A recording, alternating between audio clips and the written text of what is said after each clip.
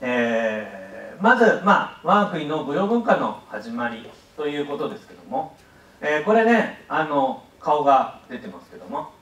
ねえー何してるか踊ってるんですね、えーまあ我が国のうん歴史の中で世界の中で名前が出てくる、まあ、最初は倭国ですね。それから邪馬台国なんていう名前で歴史上登場しますが、まあ、大体3世紀から4世紀ぐらいの我が国日本の、えーまあ、文化の中で生まれた、まあ、これ埴輪ですね、えー何してるか。ねこう「ワオ!」みたいな。違いますね。こう「ああどうも」ですかね。なんかなんか踊ってるんですね。えーまあそういった文化がもう大体3世紀頃にはあっただろうと思われるわけでございますね、まあ、まず我が国が最初に歴史上登場するのは大体600年ぐらいでございますね。第1回の遣隋使が、まあ、600年に、えまあ、行われたわけですね。まあ、えー中国には紀元前から、えー優れた文化を持ったもう王国ですね。がもうすでに成立していました。また、えー朝鮮半島にも、えー王国がありまして、うんまあ、我が国日本は一番遅れていたわけでございます。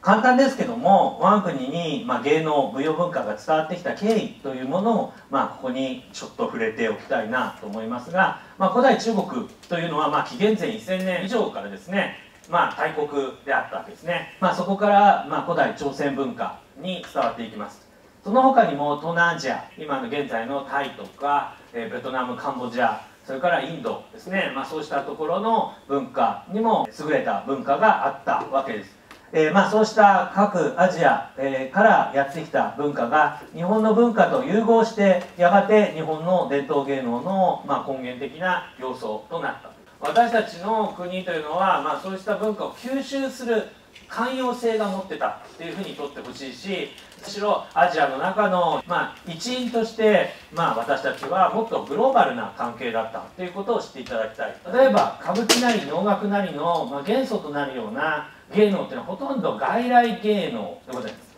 えー最初にお話した通り、えー日本という国はアジアの中では一番最初は遅れていた後進国であったわけです。それがまあ後進国な理由というのはいろいろあるんですけども一番の理由は私たちのほとんどっていうのは根血民族であるわけですね。えー710年に、えーまあ、平城宮ができるわけですけども、えーたえー8世紀7世紀8世紀頃の日本というのは国際都市のような、まあ、飛鳥それからな平城宮の都はほとんど外国人それからうーん私たち日本人と言ってますけども日本語というよりは、まあ、古代朝鮮語に近い言葉それから、うん、古代中国語に近いような言葉を話していて、えー文字というのは漢字を使っていたわけですね。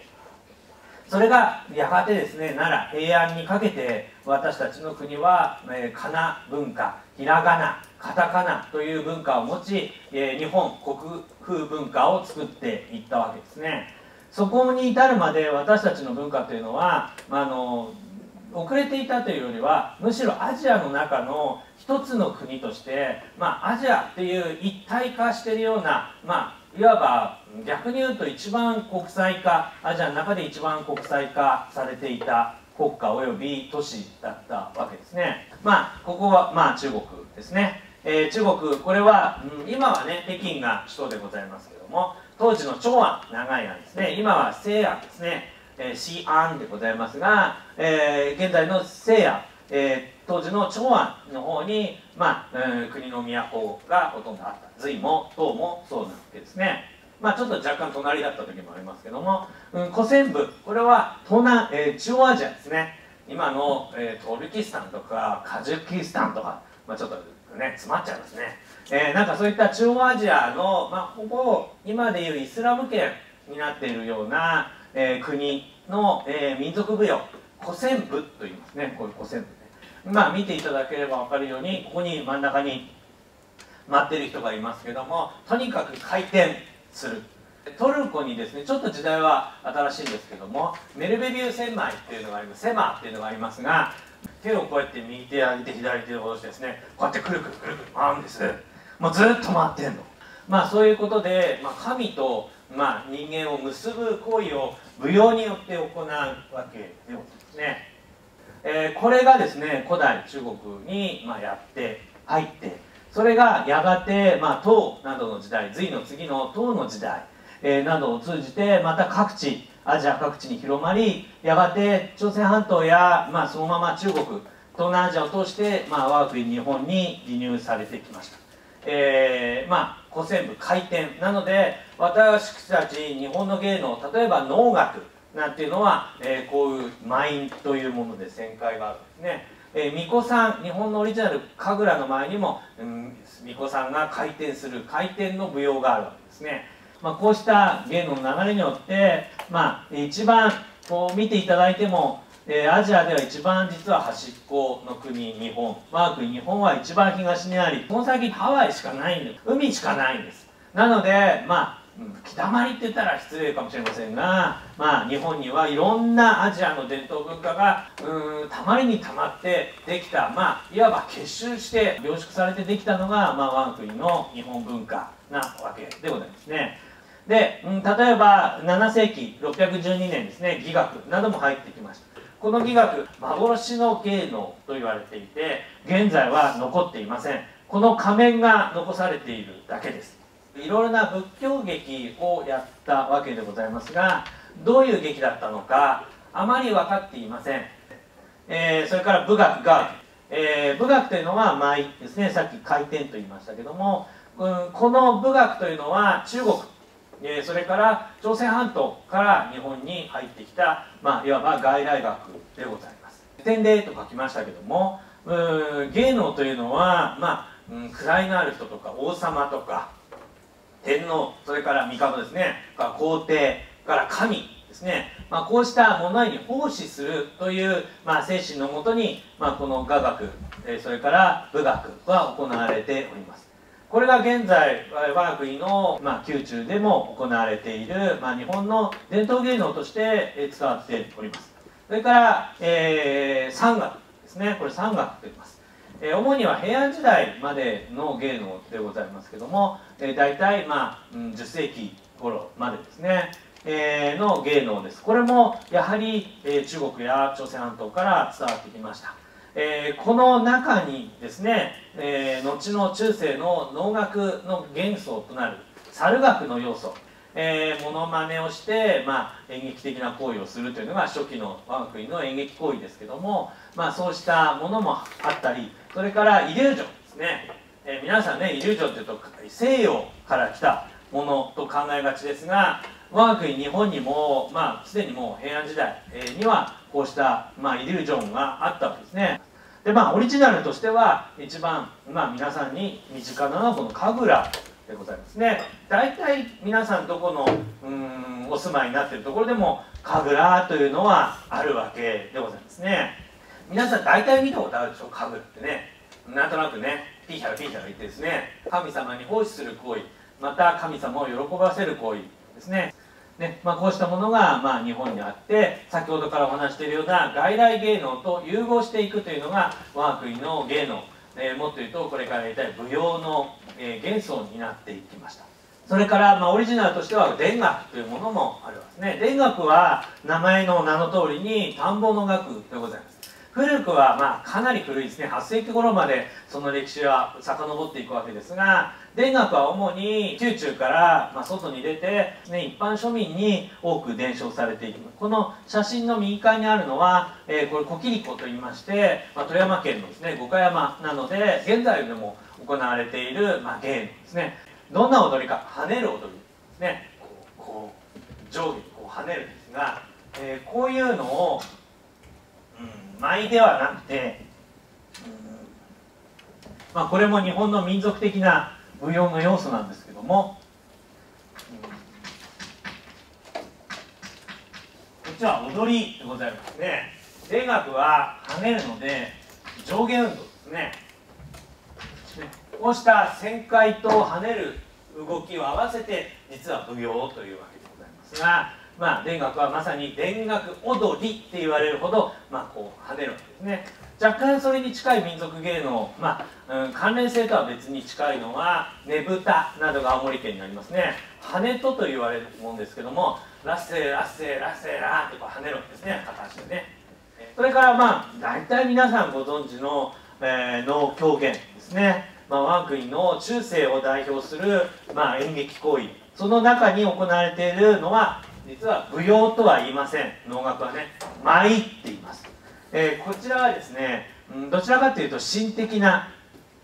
神様に奉仕する、えー、宗教的な意味が多いものが多い。こちらは踊りは民族的なものが多いんですね。ちょっと地域は違いますけどもアフリカのねこうマサイ族みたいな「あんねーはにょはな」んて言うと縦に跳ねるでしょ？あれはとてもすごく民族的なものですね。一方舞旋回する、くるくる回るバレエとは違うんですよ、えー、くるくる回るのには、まあ、宗教的な意味が強いわけですね。そして1500年代の終わり、まあ、いわゆる戦国時代になりまして、うんまあ、国が、まあ、戦乱の嵐になったり、まあ、安定していない頃ですね。私たちの日本人の芸能はこの風流というものなどを代表するようにまあ、さらにですね一般に広まりそして、まあ、自由に行われていた、えー、時代になっていきます、うん、全てと言いませんがこの流れを組んで行われるようになった登場するのがこの歌舞伎でございます。近世の歌舞伎でございますね、えー、歌舞伎ってこれ書いてありますけどももともとはですね、えー、歌舞伎というのはこう書くんですね。傾いて奇抜ね。まともなことはやらないんですね。とにかく傾いて奇抜でございますね。もう傾いてるわけですもんね。皆さん歩いて歩いてる時にねこうやってこうやって歩いてたらはっと思うでしょ。普通の人はまっすぐ歩きますね。肩着の人はまっすぐ歩くんですね。歌舞伎物ってやっぱり傾いてて奇抜なんですね。うんこうやってもうこんなになっちゃって歩いてる人は極道って言うんですけどまあそれはどうでもいいんですがあのそうしたようにまあ、ここでは歌舞技って書いてありますがいわゆる歌舞伎の本質っていうのは傾いてる、ね、ちょっとおかしな感じ。そして奇抜である。というような行為が歌舞伎行為。ですね。まあ、この流れの中で歌舞伎が重要なことを占めているのはそれまでの舞踊行為芸能行為には宗教性があったんですね。能楽も仏教劇です、えー、こうしたも宗教性というのは完全になくなってきた。1603年以降起きた歌舞伎にはもうエンターテインメント。楽しいといったものが重視される時代になっていったんですね。まあ江戸時代になりまして戦乱も終わってまあ若干ですねまだ大阪の陣は終わってない頃ですけどもお国さんが登場することによってやがて天下太平の世が100年以上にわたってやってくる、まあ、そうした時代にできた日本の完成形の伝統劇。歌舞伎の発生に至るわけですね。我が国の伝統文化っていうのを作り方ってまず絵というものが海外からやってくる。これに対して日本の文化がくっついて A' というものができる。そしてさらに新しいものを作って B というものができる。そしてさらに A と A' プラス B ができくっついた C というものができる。そして輪が広がって芸能の精度が上がっていく。これが我が国の伝統芸能の形成の根源。です、